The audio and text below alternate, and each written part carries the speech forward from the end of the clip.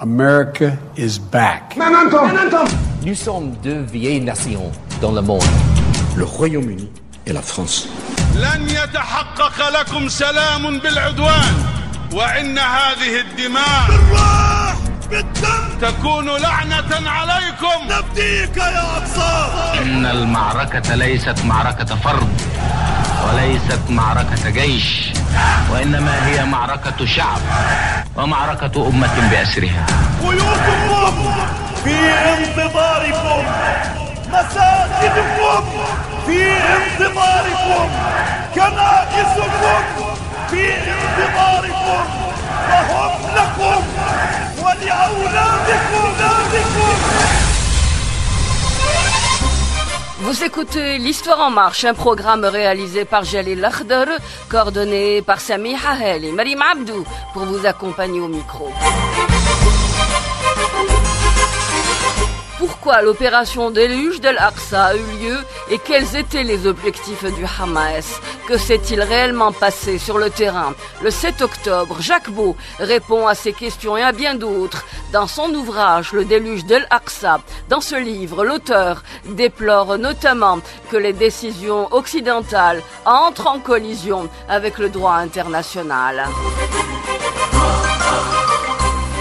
Jacques Beau est colonel d'état-major, ex-agent des services secrets suisses, expert en armes chimiques et nucléaires. Il a été entre autres chef de la doctrine des opérations de maintien de la paix des Nations Unies à New York. Il est l'auteur de plusieurs livres sur le renseignement, la guerre et le terrorisme, gouverné par les fake news, Poutine, le maître du jeu, Opération Z. Monsieur Jacques Beau, merci d'accepter notre invitation et d'être avec nous aujourd'hui dans l'Histoire en marche. Dans votre livre, Le déluge de l'Aqsa, vous évoquez un fascicule de 16 pages rendu public par le Hamas il y a de cela quelques semaines seulement. De quoi est-il question précisément? Tout d'abord, quand ils ont commencé l'opération le 7 octobre, les objectifs étaient déjà connus pour ceux qui lisaient la presse palestinienne ou qui lisaient déjà ce qui se passait dans les réseaux sociaux. Donc vous savez déjà euh, ce que le Hamas cherchait à faire, notamment il s'agissait en premier lieu d'attaquer des éléments militaires, et j'insiste sur le terme militaire, et 7 octobre il y a eu l'attaque de 25 positions militaires dans ce qu'on appelle l'enveloppe de Gaza. L'enveloppe de Gaza, c'est la bande de terre qui entoure la bande de Gaza et dans laquelle l'armée israélienne exerce son contrôle sur la bande de Gaza. Il y a une division de l'armée israélienne qui est déployée dans cette bande de Gaza avec euh, des systèmes d'écoute électronique et des systèmes de tir. Enfin, il y a tout un système extrêmement complexe et le 7 octobre avait pour objectif d'attaquer ces points-là et 25 objectifs étaient désignés. Et puis, il y avait un autre objectif, comme j'ai dit, c'était de faire des prisonniers, c'est-à-dire des prisonniers militaires à l'origine. Alors pourquoi est-ce qu'on a dévié sur des prisonniers euh, civils? Tout ça n'est pas très clair, mais à l'origine, il s'agissait bien de prendre des prisonniers militaires dans le but de forcer Israël à revenir euh, sur la table de négociation pour cette question, la question d'échange de prisonniers. Et puis, il y avait un élément qui est important, c'était d'attirer l'attention de la communauté internationale sur la situation el-Sharif. C'est d'ailleurs pas pour rien que cette opération s'appelle Déluge d'Al-Aqsa. Il s'agissait bien d'attirer l'attention de la communauté arabe sur la menace qui pèse sur le troisième lieu saint de l'islam. C'est important. Et puis, il y avait un autre élément qui était d'attirer l'attention internationale sur simplement la cause palestinienne parce que, avec les accords d'Abraham qui, comme vous le savez, avaient été promus par les Américains et euh, afin d'avoir des accords bilatéraux entre Israël et un certain nombre de pays arabes, dont l'Arabie saoudite, le Maroc et que sais-je, eh bien, le problème de ces accords, c'est qu'ils ne mettaient pas dans la balance la question palestinienne. Les questions palestiniennes étaient totalement ignorées. Et donc, l'idée était de ramener l'attention, si vous voulez, sur la question palestinienne et d'ailleurs, c'est ce qu'on a vu tout récemment lorsque l'Arabie saoudite, dans un premier temps, a dit qu'elle ne signerait pas les accords d'Abraham tels qu'ils avaient été prévus. En revanche, elle veut intégrer dans ces accords la question palestinienne. Donc, c'est ces objectifs-là qui sont expliqués, d'ailleurs, qu'on pouvait déduire avant, mais maintenant, ils sont exprimés clairement. Le problème, c'est que cette explication est arrivée un peu tard et a laissé si vous voulez, la place au narratif à la fois Israël et occidental qui euh, donne euh, des objectifs euh, beaucoup plus sombres au Hamas et qui lui donne aussi d'ailleurs, qui même l'accuse de crime. Donc c'est un peu, là le Hamas est arrivé un peu tard avec sa brochure, mais au moins elle a le mérite d'être là, ce qui est déjà pas mal.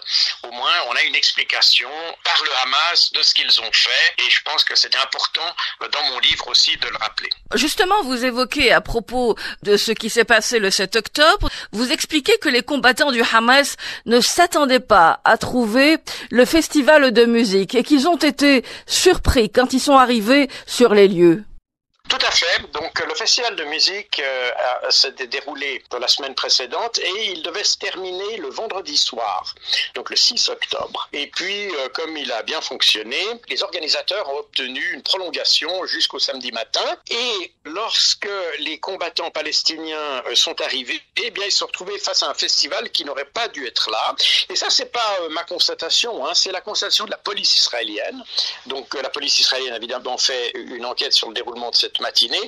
Ils sont aperçus qu'effectivement, les Palestiniens ont été déconcertés par la présence de ces civils. On a même des combattants palestiniens qui ont demandé, parce que le festival de musique était adossé à la base militaire de Reim, qui est une des bases de la division de Gaza, cette division qui est chargée de la surveillance de la bande de Gaza. Et puis, les combattants palestiniens cherchaient à atteindre cette base militaire. Et quand ils sont arrivés dans cette foule de jeunes, eh bien, la, la police israélienne a constaté que même les, les combattants palestiniens ont demandé leur chemin aux, aux festivaliers pour aller vers la base euh, de militaires. Donc euh, il est très clair que le festival de musique n'était pas un objectif des Palestiniens et que les Palestiniens, d'ailleurs, ont, ont, été surpris par ça. Il y a eu alors après des échanges de feu parce que ce qui se passe, c'est que beaucoup de festivaliers, c'est-à-dire des jeunes Palestiniens, avaient, comme vous savez, en Israël, les, les citoyens peuvent avoir une arme et certains festivaliers ont pris leur arme qu'ils avaient dans la voiture, qu'ils avaient dans leur voiture personnelle. Et il y a eu des échanges de feu qui se sont faits entre festivaliers et palestiniens, mais les Palestiniens n'avaient pas comme objectif de les prendre comme otages. À la fin, quand même, il y a quand même eu des festivaliers pris. Maintenant, il y a aussi une chose qui est importante. La prolongation de ce festival est importante parce que il montre aussi que les signaux qui ont été captés par les services de renseignement israéliens à minuit, donc l'attaque, l'attaque palestinienne a eu lieu, comme vous le savez, le 7 octobre à 6h30 du matin, mais des préparatifs avaient déjà été détectés par les services israéliens à minuit c'est-à-dire six heures plus tôt. Il y a eu donc une, ou deux réunions d'urgence qui se sont déroulées en Israël pour analyser ce qui s'était passé. Ils n'ont pas, sont pas vraiment arrivés à une conclusion, mais toujours est-il que la question de la prolongation du festival a fait l'objet d'une discussion parce qu'on s'est dit comment se fait-il qu'on ait prolongé le festival alors que des signaux indiquaient que quelque chose se préparait? On ne savait pas quoi, on ne savait pas où ni comment, mais on savait que quelque chose se préparait. Donc normalement, on n'aurait pas dû donner l'autorisation de cette prolongation. Mais voilà. Justement, Monsieur Jacques Bois, à ce propos, vous dites ou vous écrivez dans votre ouvrage Opération déluge del Arsa que les Israéliens n'ont pas détecté les éléments indiquant qu'une opération se préparait le 7 octobre. En revanche, et vous rajoutez, c'est une faiblesse d'analyse, expliquez-vous dans vos entretiens. Vous expliquez également que l'armée israélienne était très paniquée et qu'il n'y avait pas de méthode dans sa riposte opérationnelle en l'occurrence. Les Israéliens, ils ont des services de renseignement, c'est pas les seuls d'ailleurs, mais en gros, ils, ont quand même des services de renseignement qu'on cite toujours en exemple, mais en fait, sont pas des, des services sont toujours totalement exemplaires. Euh, sont des, des, services qui sont qui ont toujours été très mauvais dans l'analyse. Ils sont très bons pour détecter des gens, pour poursuivre des Palestiniens à travers le monde ou pour poursuivre des gens à travers le monde. Là, ils sont très forts. Mais lorsqu'il s'agit d'analyser une situation, il y a de grandes faiblesses et c'est pas la première fois d'ailleurs que les services israéliens euh, se trompent dans leur analyse. Ils se sont trompés en 1973 lors de la guerre du Kippour, que, oui. que, que les, les, Égyptiens avaient réussi à faire euh, une, une, opération de désinformation qui est probablement une des opérations de désinformation les plus magistrales de toute l'histoire militaire, qui est d'ailleurs instruite dans les, les académies militaires. C'est vraiment l'opération de désinformation qui a été menée de la manière la plus minutieuse et la plus intelligente et les Israéliens n'avaient pas réussi à détecter les préparatifs. Et puis ensuite, les services israéliens en 2006, avant leur intervention au Liban, au sud Liban, ils n'avaient pas su évaluer l'importance du Hezbollah et donc en fait ils ont sous-estimé l'adversaire exactement comme ils ont sous-estimé l'adversaire à Gaza. Ceci étant dit, à part cette faiblesse, disons, connue des services israéliens, il faut aussi admettre que les Palestiniens ont travaillé avec beaucoup d'intelligence dans la préparation de leur opération et que les Israéliens ont pu capter des pièces de puzzle, si vous voulez, parce que le travail du renseignement, c'est de reconstituer une image à partir de pièces de puzzle. Et l'idéal, c'est d'avoir toutes les pièces du puzzle et de savoir exactement où chaque pièce va. Le problème, souvent, c'est qu'on n'a pas beaucoup de pièces de puzzle et on essaie de reconstituer une image à partir d'une partie seulement de ces pièces. Et c'est ce qui s'est passé pour les Israéliens. Et ils ont eu trop peu de pièces de puzzle, ils n'ont pas réussi à, à mettre en cohérence les différentes pièces de puzzle qu'ils avaient et donc, ils ont vu les choses, ils n'ont pas été capables de réaliser qu'il s'agissait d'une opération militaire et que cette opération militaire pouvait se dérouler dans les conditions dans lesquelles elle s'est déroulée. Donc ça, c'est effectivement une faiblesse euh, majeure, mais elle est connue. Ceci étant, je pense que beaucoup d'autres services de renseignement auraient pu se faire euh, abuser, si vous voulez, par les préparatifs palestiniens qui étaient remarquablement bien faits et remarquablement intelligemment conçus. Vous expliquez également qu'il y a eu un moment où ils ont tiré dans le tas, pris de court. Hein. Vous évoquez à ce sujet la doctrine Hannibal, où en somme, la libération des otages n'est pas forcément une priorité, Monsieur Jacquebot. Oui, alors ce qui s'est passé après l'attaque, on dit du Hamas, mais en réalité on devrait dire des Palestiniens parce que le Hamas a mené cette attaque avec aussi toute une série d'autres groupes palestiniens, notamment le djihad islamique palestinien, euh, les comités de résistance populaire, etc. Donc on est sur quelque chose d'un peu plus complexe que simplement le Hamas. Et il y a effectivement là aussi d'ailleurs euh, quelque chose d'intéressant, c'est l'étroite coordination de l'opération entre différents groupes que l'on continue à voir aujourd'hui d'ailleurs, alors que Gaza est occupé euh, par les troupes israéliennes. On continue à voir que cette coordination opérationnelle entre différents mouvements fonctionne parfaitement et encore des opérations conjointes qui sont menées par différents groupes. Mais bon, euh, pour revenir au 7 octobre, ce qui s'est passé, c'est que la principale, la première tâche ou la première activité des Palestiniens a été de détruire les systèmes de reconnaissance, les systèmes de, télévision, les systèmes de surveillance qu'avaient les, les Israéliens. Et par conséquent, l'état-major israélien s'est trouvé totalement aveugle dans les premières minutes de l'attaque. Il n'a plus aucune visibilité sur l'ensemble de la zone des opérations. Et le commandant de la division de Gaza, qui est chargé de, la, de, de cette, de cette zone, hein, Mhm. euh, a- s'est tourné vers l'état-major de Tel Aviv. Et à Tel Aviv, on lui a répondu la même chose. On lui a dit qu'il n'avait absolument aucune idée de ce qui se passait. On savait qu'il y avait une attaque, mais on ne savait pas par combien de combattants, ni dans quel secteur, ni dans quelle amplitude. Et par conséquent, ça conduit à envoyer euh, des hélicoptères sur place. Et les hélicoptères, quand ils sont arrivés, les de combat qui sont arrivés sur place, n'ont vu qu'une situation très confuse. En plus, un hélicoptère, ça se déplace quand même relativement rapidement, donc c'est pas, pas évident d'avoir une vision très précise de la situation au sol. Résultat des courses, le hum, commandement de Tel Aviv a donné l'autorisation aux pilotes d'hélicoptères de tirer sans distinction. Et alors, on a appliqué effectivement, c'est juste cette, euh, cette doctrine Hannibal, puisque c'est pas une doctrine, c'est une directive. C'est une directive de l'armée israélienne qui prévoit que lorsqu'il y a une prise d'otage ou qu'un militaire israélien est menacé d'être pris en otage, la priorité est de détruire le preneur d'otage, même si c'est au prix de la vie de l'otage. Ne sachant pas ce qui se passait euh, durant, donc, durant la première phase de cette opération à l'Aqsa, les Israéliens sont partis de l'idée que les hum, Palestiniens étaient venus prendre des otages, effectivement.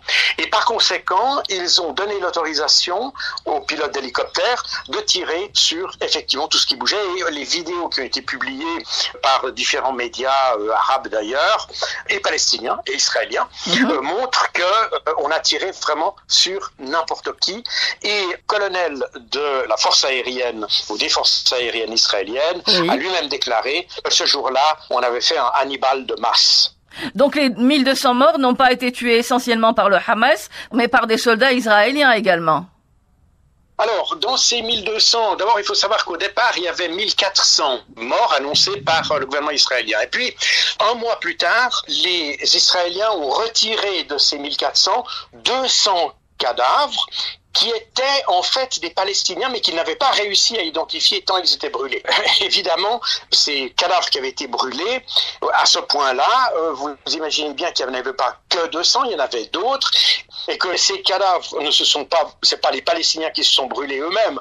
Donc, les Israéliens ont effectivement eu de la peine à faire une discrimination entre les victimes palestiniennes et les victimes israéliennes, et on est arrivé au chiffre grosso modo de 1200. Parmi ces 1200, il y a environ 400 militaires, militaires ou des membres des forces de sécurité, donc des gens qui ont combattu le Hamas, donc ce ne sont pas des civils, très important de le dire.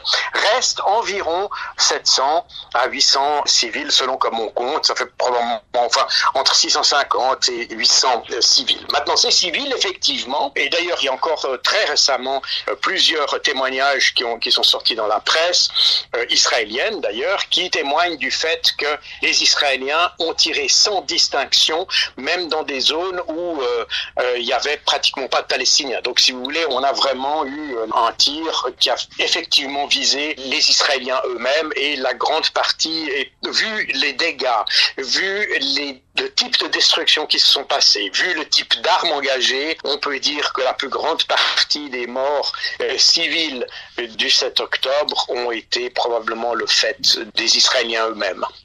Monsieur Jacques Beau, auteur de l'ouvrage Opération déluge d'Al-Aqsa, un livre que l'on recommande vivement à nos auditeurs. Merci beaucoup d'avoir été avec nous. Merci à vous. Merci pour vous de m'avoir invité. Jacques Beau est ancien colonel de l'armée suisse, analyste stratégique, spécialiste du renseignement, expert auprès des Nations Unies, auteur de l'ouvrage Opération déluge d'Al-Aqsa. Et il était avec nous à partir de Genève.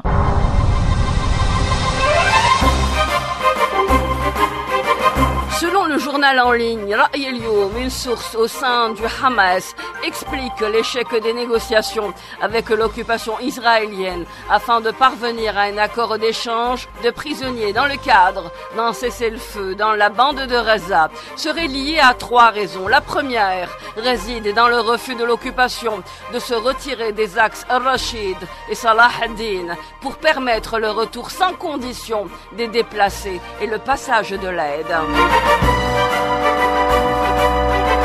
Il est rajouté que la délégation israélienne présente lors des négociations a également fait preuve d'un manque de sérieux concernant la question des prisonniers et a altéré l'équation d'échange. Le Hamas avait fait une concession sur ce point en insistant sur la libération de 1500 prisonniers palestiniens, dont 500 condamnés à de lourdes peines. Le chef du bureau du Hamas à Beyrouth, Osama Hamdan, a rapporté que la réponse de l'occupation sioniste à la proposition du mouvement concernant les négociations de cessez-le-feu et l'échange de prisonniers était négative et ne répondait pas aux demandes du peuple palestinien. كان رد الاحتلال سلبيا بشكل عام ولا يستجيب لمطالب شعبنا ومقاومته ونؤكد بوضوح ان نتنياهو شخصيا وحكومته الارهابيه ومن دعم عدوانه ولا يزال حتى اللحظه يتحملون جميعا مسؤولية تعطيل كل الجهود الرامية إلى إنجاز صفقة التبادل وصولا إلى وقف العدوان. Avec nous en ligne, Monsieur Martin Kobler. Merci d'accepter notre invitation. Vous êtes diplomate allemand. Vous avez été représentant spécial du secrétaire général des Nations Unies pour la Libye en 2015, émissaire adjoint pour l'Afghanistan en 2010, émissaire spécial de l'ONU en Irak entre 2011 et 2013. Et vous êtes membre de Diplomates sans frontières. Monsieur Martin Kobler, vous étiez il y a de cela quelques jours en Palestine occupée. Qu'est-ce qui se dégage des entretiens que vous avez eus sur place? C'était une tournée totalement privée, euh, de me familiariser avec la situation parce que je suis un membre des diplomates sans frontières. Alors c'est une réunion d'anciens diplomates et euh, on va aussi euh, vérifier si on pourrait s'engager au conflit. Voilà les dix jours, j'ai rencontré les membres de l'autorité palestinienne. J'étais à Ramallah, j'étais à Jérusalem, aussi les membres de la société civile, les organisations de droits de l'homme, les membres des partis politiques, euh, de la société civile en général, mais aussi en Israël, c'était important de rencontrer la société civile et ceux qui sont pour la paix, qui sont contre une détérioration de la situation humanitaire en Gaza. C'était très bien que je suis allé parce que je dois le savoir et voir moi-même avec mes propres yeux. Et vous avez senti une véritable opposition au gouvernement actuel, au gouvernement de Netanyahou actuel? Non, j'ai senti le contraire. C'est une certaine solidarisation, une solidarité avec le gouvernement. Si un pays est attaqué, comme c'était le cas le 7 euh, octobre, alors ça solidarise la population. Mais on va voir parce que la situation s'empire dans le gaz, en particulier la situation humanitaire. Plus de 30 000 gens ont été tués et 70% parmi eux c'était les femmes et, les enfants. C'est pourquoi ça a aussi un effet sur la société israélienne. Vous avez parlé des événements du 7 octobre, monsieur Martin Kobler. Toutefois, il y a eu ce qui est arrivé après le 7 octobre. Les 30 000 Palestiniens tués de façon quotidienne par l'armée d'occupation. C'est une situation qui a conduit à de multiples manifestations. Ce serait une vue d'esprit, ce que l'on constate aujourd'hui? Personne ne conteste, euh, et moi, moi non plus, que Israël avait le 7 octobre le droit à l'autodéfense. Mais ce droit à l'autodéfense doit être exercé dans un cadre du droit international humanitaire. Alors c'est clair, si un pays est attaqué, alors on a le droit d'autodéfense, euh, mais alors ce qu'on critique, et c'est pourquoi on a aussi des manifestations, dans les territoires occupés, mais aussi en Israël, mais dans le monde arabe euh, ici en Allemagne et partout en Europe, aux États-Unis, ça doit être exercé dans le cadre du droit international. Si quelqu'un exercent le droit de l'autodéfense, ils ont la responsabilité aussi de fournir la livraison humanitaire et euh, être responsable pour les civils euh, dans la bande de Gaza. Alors ah. c'est assez clair. Eh bien, c'est suffisamment clair ou peut-être pas? Vous êtes un diplomate de carrière. Est-ce qu'il vous semble que ce qui se produit aujourd'hui à Reza, les attaques contre des hôpitaux, contre des mosquées, contre des églises, contre des écoles, est un droit de défense, c'est une, euh, une sorte d'autodéfense, Monsieur Martin Kobler? Voilà, comme je dis, alors euh, je ne crois pas, alors que c'est dans le cadre du droit humanitaire. La fin dans la guerre. J'ai travaillé au Congo, en Éthiopie, dans euh, dans d'autres endroits. La fin, Somalie, la fin comme arme de guerre, c'est inacceptable. Alors on ne peut pas laisser les gens sans nourriture, sans eau, sans les bases de santé. Alors ça ne va pas et c'est une violation, je crois, du droit humanitaire international. Cette volonté de laisser les gens mourir de faim est accompagnée d'une autre volonté, celle de s'attaquer à des organisations onusiennes telles que l'UNRWA. L'UNRWA, où les bureaux de l'UNRWA ont été bombardés par les forces d'occupation. Comment jugez-vous cela? Comment jugez-vous également l'incapacité de stopper cet élan d'agressivité à l'encontre de populations civiles? Il faut tout ce qu'on peut alors de cesser le, ces combats ici, mais aussi de reconnaître que ce combat se déroule dans un contexte. Ce que a dit le secrétaire général des Nations Unies, il était bien critiqué après le, le 7 octobre. On a l'occupation. Euh, il faut maintenant voir au futur. Et ici, dans mon, ma, ma tournée en Palestine, en Israël, j'ai rencontré beaucoup de gens qui ont des plans pour le futur, d'éviter les erreurs du passé. Vous parlez de plans pour le futur, mais est-ce qu'il vous semble qu'il y a aujourd'hui un futur? Raza est totalement détruite, pilonnée, il n'y a plus d'infrastructure de base. Donc de l'autre côté, il n'y a pas de volonté de parler de futur, monsieur Martin Kobler. Euh, je suis pas tellement d'accord. Je suis d'accord avec euh, avec la, comment vous décrivez la situation maintenant au Gaza, les destructions et les attaques et les bombardements et tout ça. Mais c'est clair pour tout le monde pour beaucoup là-dedans, dans les territoires occupés, aussi euh, en Israël, mais aussi dans le monde entier, que qu'on n'a pas une solution militaire. Il faut le compléter par une solution politique. Et c'est ce qui est essayé beaucoup de faire. Il faut voir, analyser où sont les, les erreurs du passé aussi. Les pays arabes jouent un rôle très important. Oui, pour l'instant, ils sont probablement absents. Monsieur Martin Kobler, vous avez indiqué plus convaincu que jamais, il n'y a pas de véritable sécurité pour, dites-vous, Israël, et pas de stabilité dans la région sans droit pour les Palestiniens. Est-ce qu'il ne vous semble pas aujourd'hui que parler de droit des Palestiniens est et quelque peu désabusé, permettez-moi l'expression. Nous ne constatons que des sacs mortuaires par milliers. Nous ne constatons que des corps de Palestiniens ensevelis. De quel droit de Palestiniens peut-on encore parler?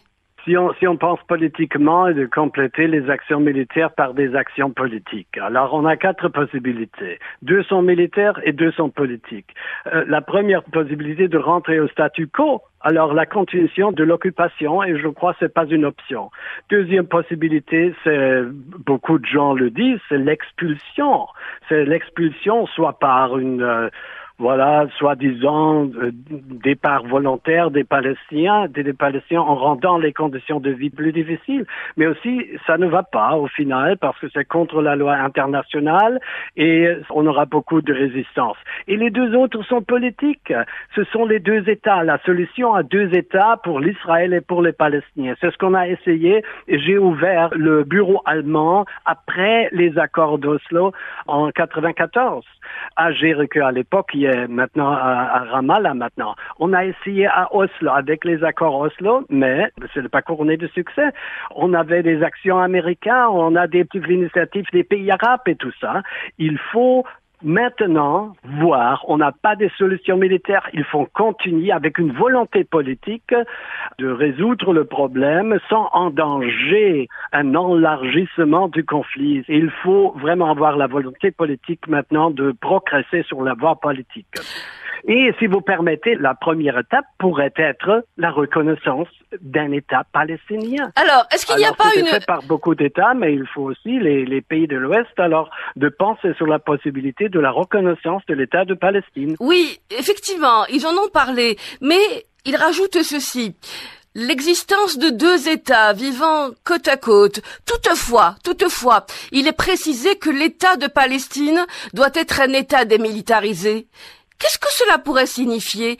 Est-ce qu'il vous semble qu'il est juste d'avoir un État auquel on fournit des armes aux côtés d'un État palestinien totalement démilitarisé? Est-ce qu'il n'est pas normal, pardonnez-moi, je finis ma question, est-ce qu'il n'est pas normal que, en territoire occupé, il y ait une résistance contre un occupant? Je vous pose la question, car en Algérie, par exemple, la résistance algérienne a également été qualifiée de terrorisme. Est-ce qu'il n'est pas normal que l'on résiste à une occupation, monsieur Martin Kobler oui, euh, alors c'est clair. Alors on ne peut pas continuer l'occupation pour l'éternité ici, mais ce que vous avez dit, alors la démilitarisation de Palestine, laissez les Palestiniens et les Israéliens décider eux-mêmes par un référendum sur ce qui était accordé. Et c'était toujours euh, ma politique, alors de ne pas proposer trop, mais de demander les Palestiniens, de demander aussi les Israéliens, alors qu'est-ce qu'ils veulent avoir? Alors si vous pensez à un territoire contigu Palestine, alors il faut naturellement avoir une réduction des colons.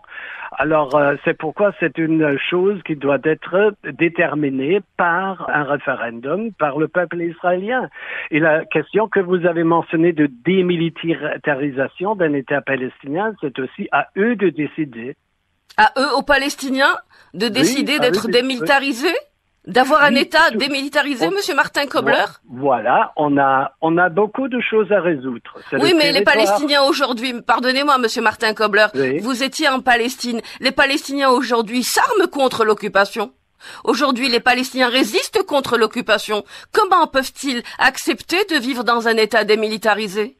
Comment peuvent-ils continuer à accepter la soumission à un État occupant? Non, ils ne doivent pas accepter, mais ce que je dis, que la violence et la solution militaire n'est pas une solution. Il faut avoir une solution politique. Ça veut dire il faut adresser les problèmes du territoire, de la souveraineté des Palestiniens, des réfugiés, la distribution de l'eau, la capitale à la Jérusalem de l'Est et, et, et toutes ces questions. Aussi la réduction de la plupart des colons qui détruisent maintenant alors un territoire contigu de l'État palestinien. Ce sont les problèmes qui sont sur la table. Ils ne peuvent pas être résolus par la violence. Ils doivent être résolus par voie politique. J'abonde dans votre sens. La solution politique est sûrement ou certainement la solution idoine, l'on va dire. Avant le 7 octobre, en Cisjordanie occupée, depuis 56 ans, les colonies s'étendent chaque année un peu plus. Le rythme des incursions de l'armée israélienne ont augmenté. Les frappes sur les camps de réfugiés se sont multipliées et les morts se sont accumulés. Au moins d'une semaine, il y eut 190 Palestiniens qui ont été tués par balle. Pourquoi n'a-t-on pas parlé du droit des Palestiniens à se défendre à ce moment-là?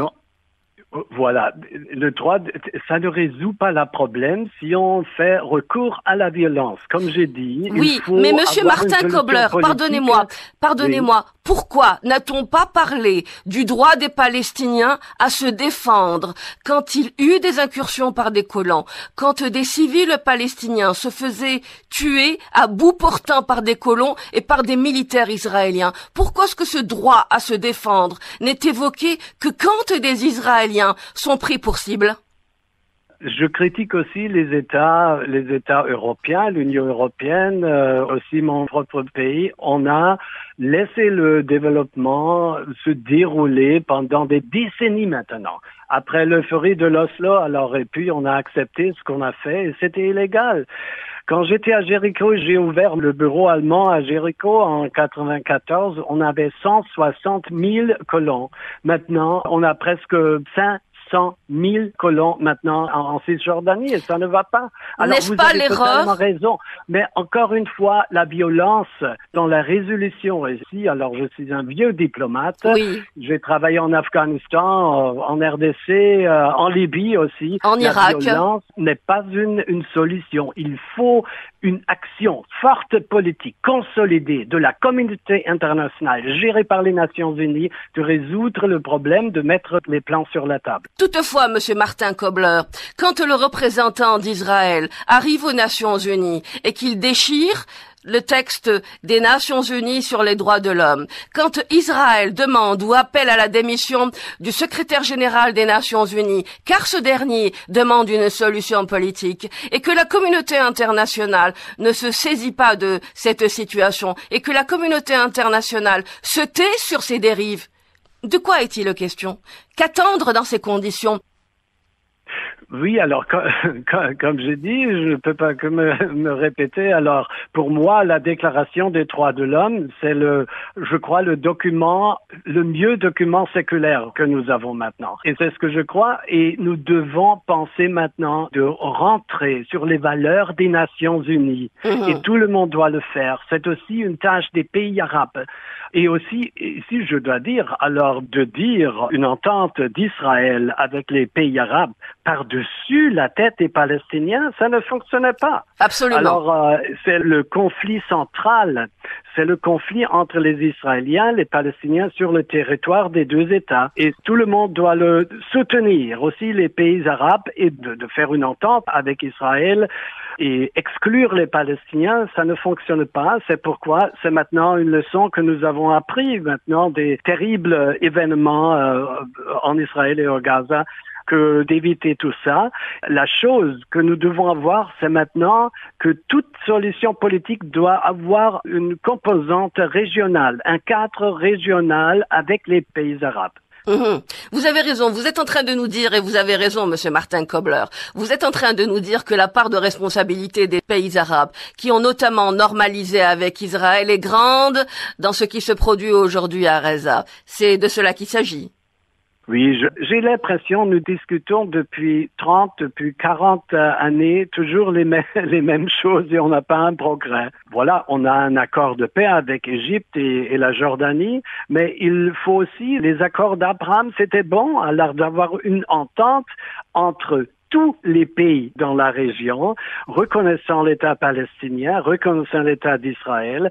On a 136 pays qui ont reconnu l'État de Palestine et on, on, a 160 pays qui ont reconnu l'État d'Israël au sein des Nations Unies. Mhm. Il faut 100% des pays membres, y inclut tous les autres, de reconnaître les deux États et puis progresser avec les négociations sur territoire, sur réfugiés, sur le NACPA, sur la distribution d'eau, euh, sur la capitale, euh, mais en particulier sur la souveraineté d'un État palestinien.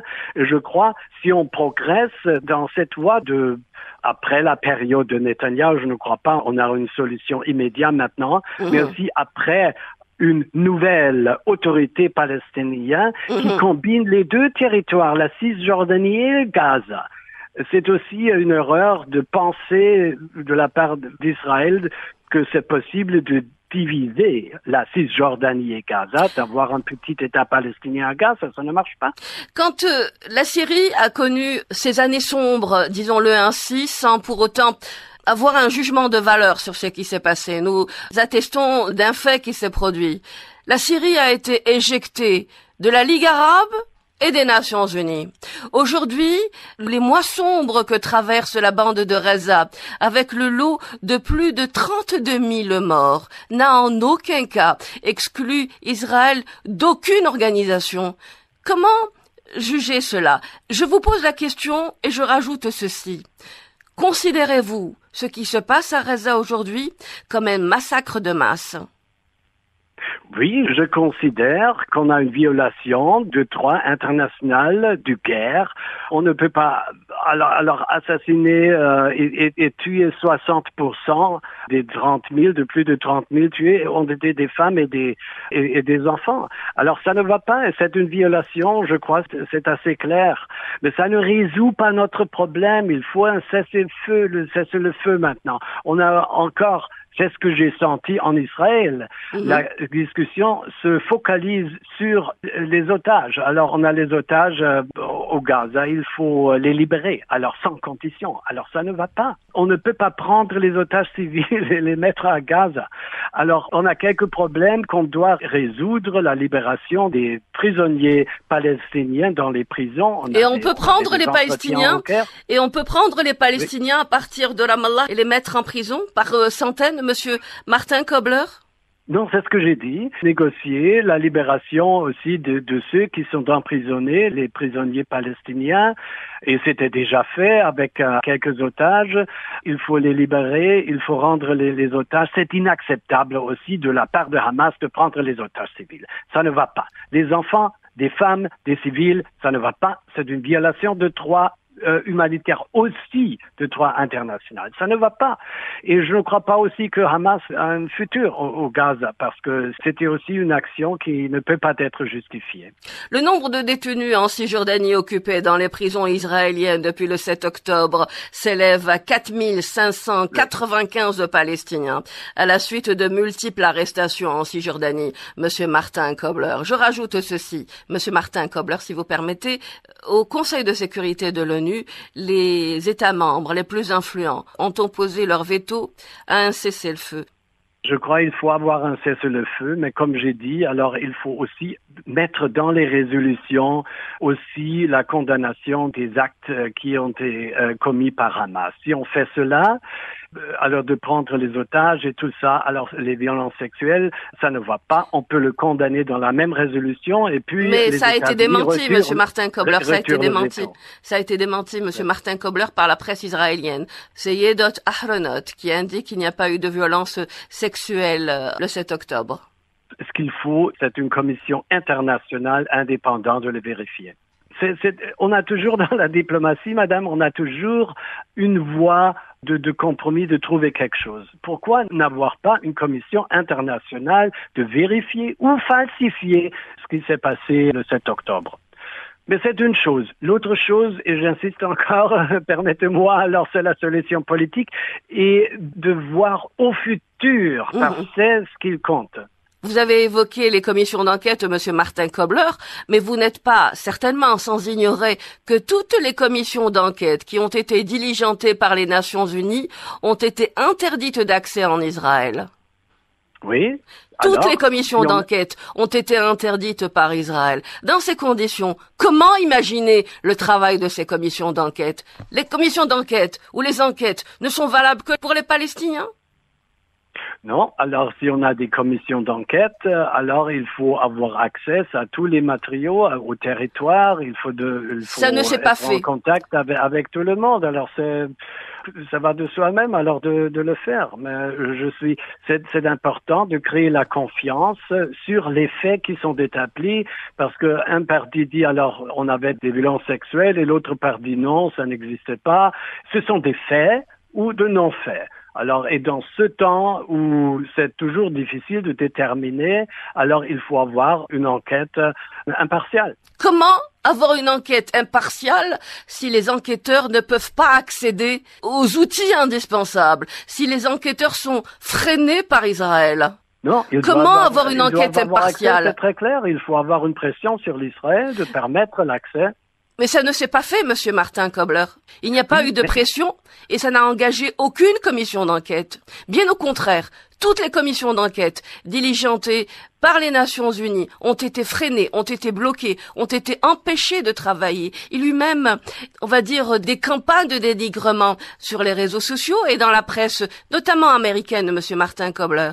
William Chabas, à titre d'exemple, a subi de multiples pressions de son propre vœu. Comment imaginer dans ces conditions des commissions d'enquête, Monsieur Martin Kobler? Voilà, je crois, si on pousse et si on offre des enquêtes impartiales ici, alors le procureur général de la haie était là. Euh, par exemple, il a vu et il est indépendant, hein, le procureur général du Cour international de justice à La Haye. Alors, euh, il était là, par exemple, on peut euh, le charger de le refaire, de continuer avec les investigations. Le procureur général de La Haye, Monsieur Khan, a été empêché d'accéder à Raza. Il a été bloqué au point de passage de Rafah. Il, il a juste mis le pied à l'entrée du point de passage de Rafah, mais il a été empêché d'accéder, Monsieur Martin Kobler. Il me semble que si, et là je parle sous votre contrôle, évidemment. Votre expérience est nettement plus supérieure, j'imagine, Monsieur Martin Kobler. Il me semble que si les commissions d'enquête sont empêchées à ce jour, c'est parce que celles-ci vont attester qu'il n'y a pas eu de violence physique, qu'il n'y a pas eu de viol comme cela a été présenté par les Israéliens, par Netanyahou et par euh, Smotrich. C'est pour maintenir ce flou et continuer à avoir le soutien de la communauté internationale de façon aléatoire, l'on va dire, et injuste. Voilà, vous avez raison. Le procureur général n'avait pas accès. Euh, il était empêché d'entrer au Gaza, euh, mais il était en Israël. Et vous avez parlé des violences sexuelles et ce qu'a dit Yediot Achronot. Oui. Et c'est aussi une chose, il avait accès à Israël. Il peut parler avec les femmes euh, qui disent qu'ils étaient violés. Oui. Euh, moi, je suis, je suis convaincu euh, qu'on avait des violences sexuelles par là. Et alors, beaucoup de gens aussi en Palestine, ils disent alors la résistance est légitime, mais des violences sexuelles, ça ne marche pas. Non, pardonnez-moi, Monsieur Martin Kobler, mais la résistance est Il ne me semble pas, pour avoir feuilleté ce dossier de façon quotidienne, avoir entendu ou lu quelque part qu'il a été dit que les viols sont légitimes. En revanche, si la commission d'enquête peut accéder aux deux parties, aussi bien palestinienne qu'israélienne, eh bien l'on saura s'il y a eu des viols dans les prisons israéliennes et s'il y a eu des viols de l'autre côté, à condition, à condition que ces commissions d'enquête mènent leur travail jusqu'au bout et que l'État occupant n'empêche pas ce travail. Monsieur Martin Kobler, merci infiniment d'avoir été avec nous et de nous avoir accordé de votre temps. Voilà, merci bien, au revoir et bonne journée. Également, merci. Martin Kobler est diplomate allemand, représentant spécial du secrétaire général des Nations Unies pour la Libye en 2015, émissaire adjoint pour l'Afghanistan en 2010, émissaire spécial de l'ONU en Irak de 2011 à 2013. Il est membre de Diplomates sans frontières et il était avec nous à partir de Berlin.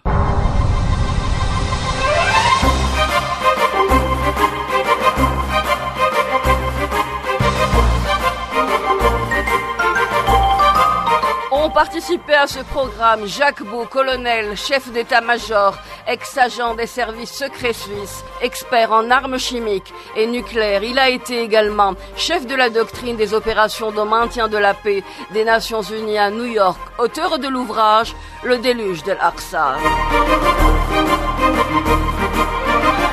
Martin Kobler, diplomate allemand, représentant spécial du secrétaire général des Nations Unies pour la Libye en 2015. Il est membre des Diplomates sans frontières. L'Histoire en marche a été réalisée par Jalil Lakhder, coordonnée par Sami Haheli, Shiraz au multimédia. Mariam Abdou vous a accompagné au micro. Merci de nous avoir prêté attention. Rendez-vous jeudi prochain à partir de 16h, Inch'Allah.